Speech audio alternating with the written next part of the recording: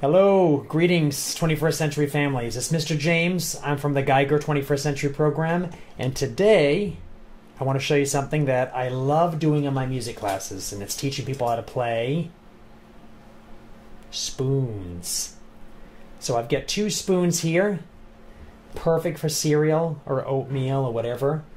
Uh, and I'm going to show you how to play these. Now, these are metal spoons. In my classroom, we use plastic spoons, and I end up giving all the students them to take home. You can probably find two spoons somewhere at your home, so find two spoons, and I'm going to show you how to do this. Now, there are other videos too to show you, and I'll mention those at the end, and you can see some people who really master the technique of playing spoons. And yes, it is a real instrument and it's great because you can use it for eating food afterwards. So first thing, you're going to start with one spoon and take your hand like this. So thumbs up, put the first spoon right here, where my thumb is, and I'm going to hold it like this. So it's going to be held almost like I'm eating something. The other spoon is not going to be like this, but turned the other way around. I'm going to open up my fingers. I'm going to put it underneath just like this. So the only finger in between here is my pointer finger. And the spoons are on top of each other. Now that's really slippery. They can slide. But what you're going to do is you're going to be able to hit this on your knee. And when you do, it makes that sound. Now, all I have to do is hold like this and hit my knee. So I'm going to move my body up so you can see my knee, and I'm going to show you a couple things you can do with this. So here's my spoon, right? Still, that's all I'm doing is holding it like that. It might move a little bit, so you have to move it back on. It's always a little bit of adjusting to get it to work perfectly. And anytime you play an instrument, it's like that. So I can play.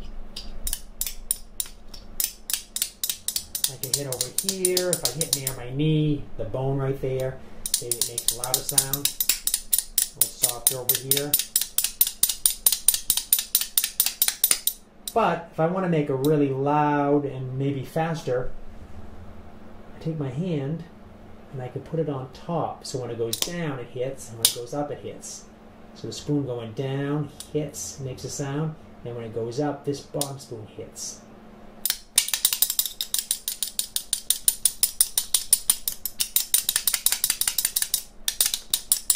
It back and forth. Of course, occasionally it will slide out, but you get used to it after a while.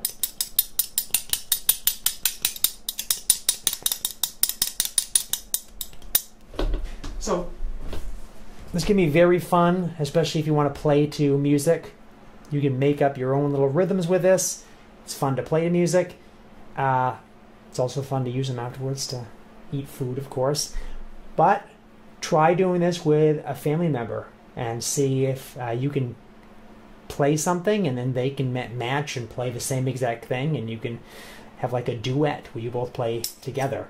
Uh, this is really fun and it makes an interesting sound. And please look up some other videos on how to play this. There's a person online called the Spoon Lady, and she can show you a lot of different things. And there's definitely a lot of this spoon playing in music, uh, folk music, and such from Ireland, from Appalachia. Lots of fun with this, and good luck trying this. Make some fun sounds. Try some oatmeal. Maybe. Bye.